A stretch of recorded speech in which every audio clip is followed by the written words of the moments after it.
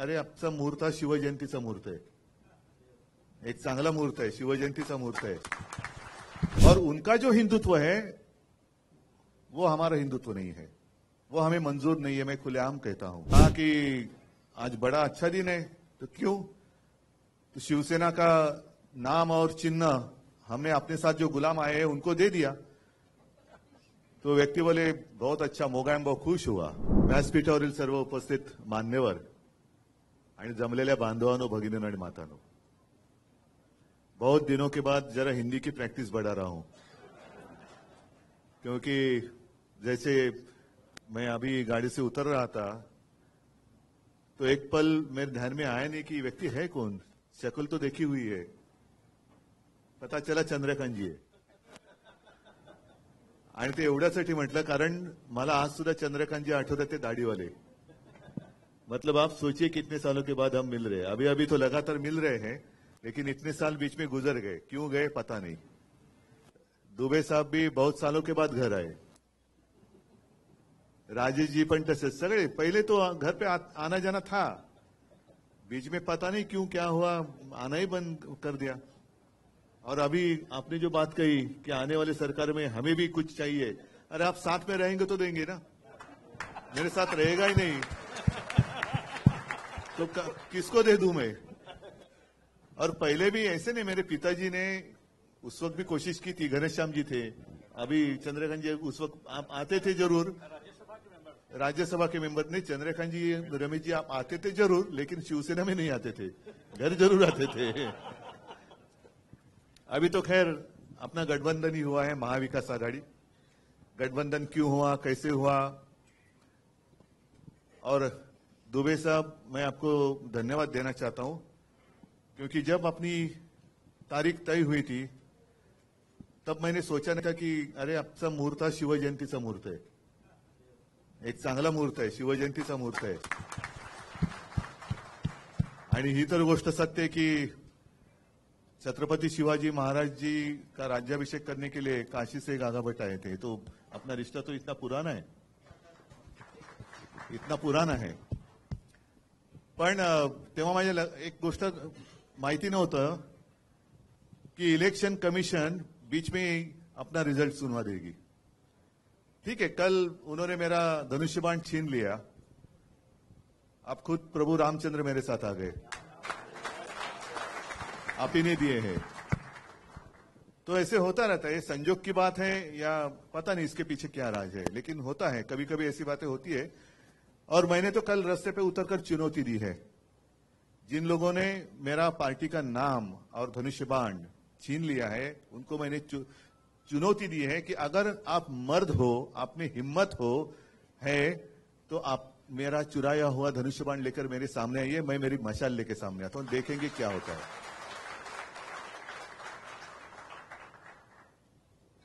एक बात ज़रूर कि पिछले 25-30 साल से भी ज़्यादा हम और आप एक दूसरे के विरोधी थे। कांग्रेस और राष्ट्रवादी और शिवसेना। उत्तर भारतीय और मराठी नहीं, मैं कह रहा हूँ। कांग्रेस, राष्ट्रवादी और शिवसेना। तो ऐसी कौन सी बात हो गई कि हम तो हिंदुत्ववादी थे? आज भी मैं कहता हूँ, मैं हिंदू हूँ। मैंने हिंदुत्व कभी छोड़ा नहीं है और ना ही छोड़ूँगा। मैंने तो भाजपा को छोड़ा है, हिंदुत्व को नहीं छोड़ा है। भाजपा मतलब हिंदुत्व नहीं है। और उनका जो हिंदुत्व है, वो हमारा हिंदुत्व नहीं है। वो हमें मंजूर नहीं है, मैं खुलेआम कहता हूँ। जो मेरे पिताजी ने मुझे सिखाया, वो हिंदुत्व ये नहीं है। और मेरे पिताजी की भाषा में कहें तो राष्ट्रीयत्व हेच आमचं हिंदुत्व है। हमारा जो हिंदुत्व है, वो देश से जुड़ा हुआ है।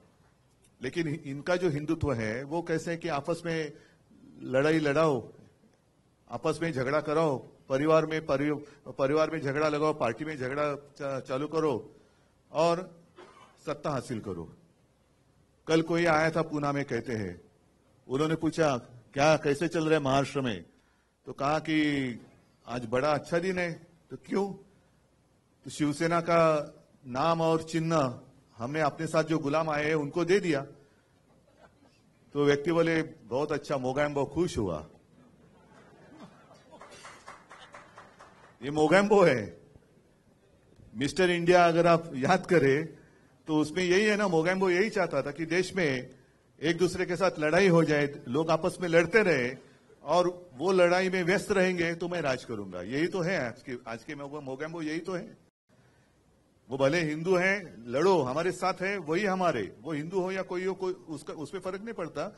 आप हमारे पार्टी में आते हो तो ही हिंदू हैं, और नहीं है तो आपने हिंदू तो छोड़ दिया।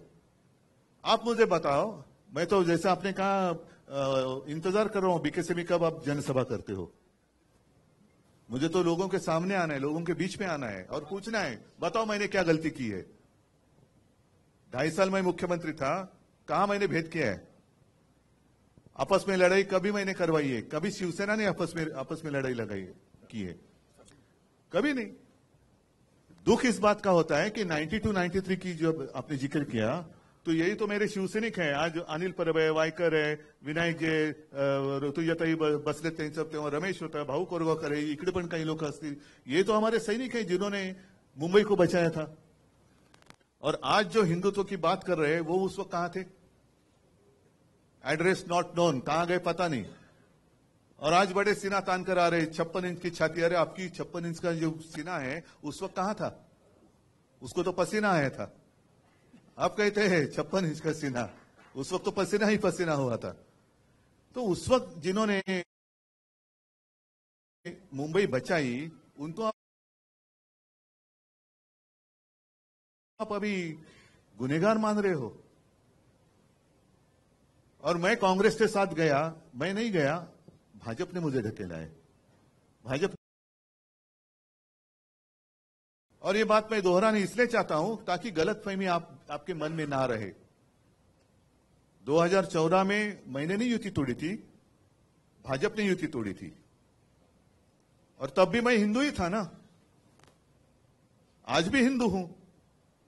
उस वक्त आपने युति तोड़ी थी।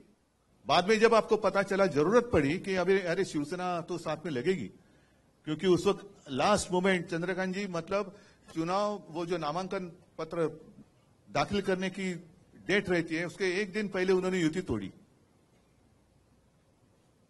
बड़ी मुश्किल थी, क्योंकि 288 जगह पर मैं कैंडिडेट कहाँ से लाऊं? तो भी हम लड़े, अकेले लड़े तो 63 आए थे हम। बीजेपी को ऐसे लगा था कि वो अकेले की ज़ोर पर सत्ता संभालेगी, नहीं संभाल सके, हमारी मदद लेनी पड़ी।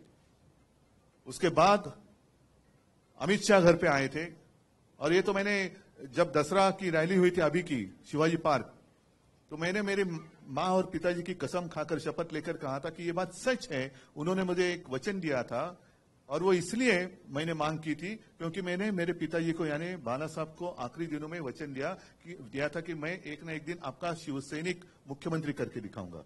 वो वचन आज भी मेरा कायम है। तो उस वक्त अमित जी ने कहा, ठीक है, और बाद में ठीक है के बाद जो कुछ हुआ आप देख रहे हैं।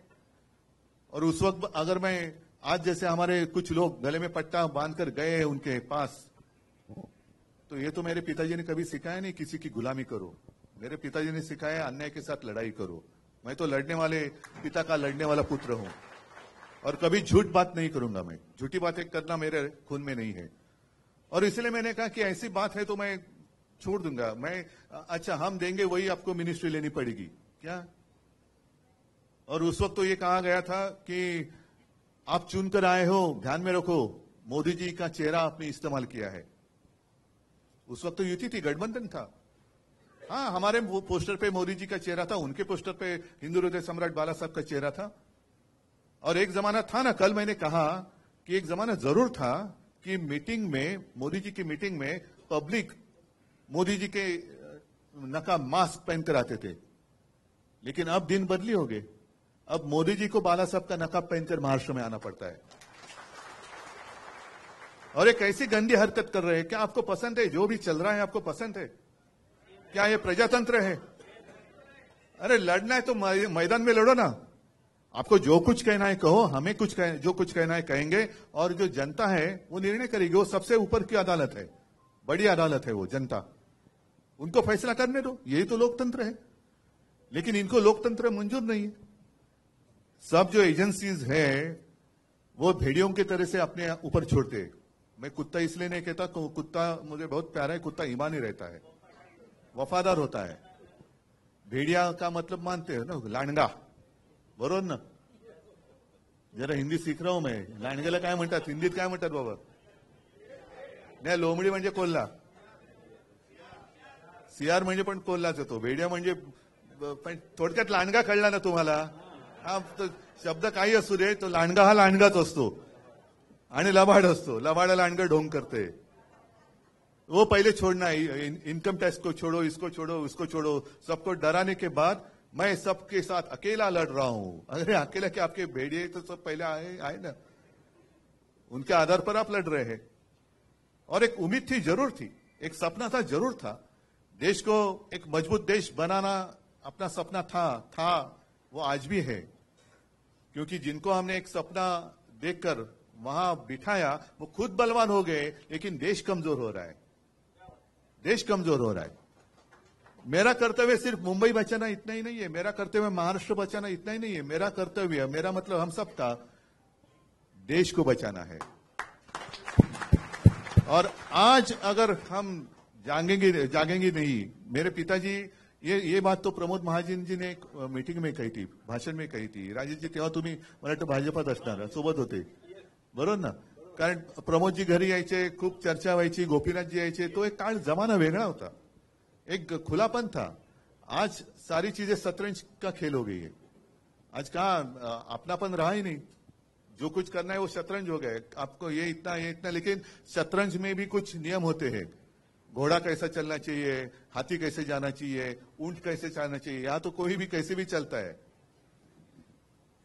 तो प्रमोद जी ने कहा था, और ये सच है, वो जमाना था, वो सब अपने हिंदू लोग बिखरे हुए थे। और तब मेरे पिताजी ने प्रमोद जी को कहा था कि, प्रमोद, देख, एक ना एक दिन मैं तुझे इस देश का हिंदू हिंदू बनकर वोट करते हुए दिखाऊँगा।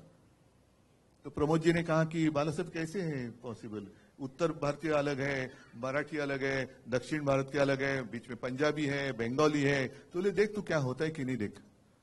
वो दिन तो आ गया, हिंदू हिंदू बनकर वोट करने लगे।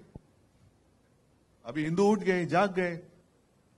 अभी जागा हुआ हिंदू खतरा भी हो सकता है तो उनके आँखों में धूल फेंकी जा रही है। तुम्ही उठलात हिंदू उठले ज़रूर, पण उठल्यानंतर जागे झालेला हिंदू ह्याला जर का सगळं दिसायला लागलं तर पंचायत होणार.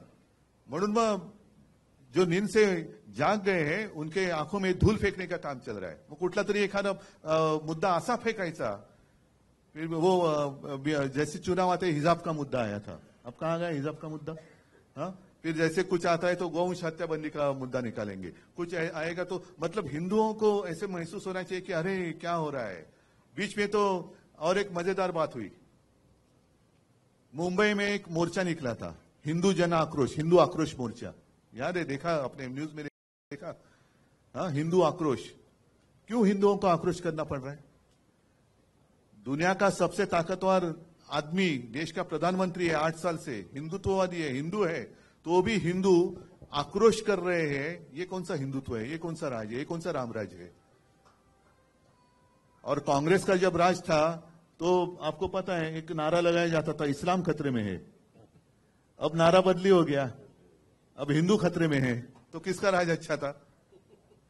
नहीं, अभी सारे मुस्लिम भाई भी साथ में आ रहे इसलिए ऐसे नहीं कहता कि वो खतरे में आना चाहिए। आपका और हमारा कोई झगड़ा है ही नहीं। ना उत्तर भारतीयों से है, ना मुस्लिम लोगों से है। जो भी इस देश को अपना देश मानता है, अपनी मातृभूमि मानता है, और जैसे आपने कहा कि उत्तर प्रदेश तो आपकी मातृभूमि है, ये कर्मभूमि है, आपको आदर दिया है तो इस देश के प्रति आपका एक कर्तव्य बनता है।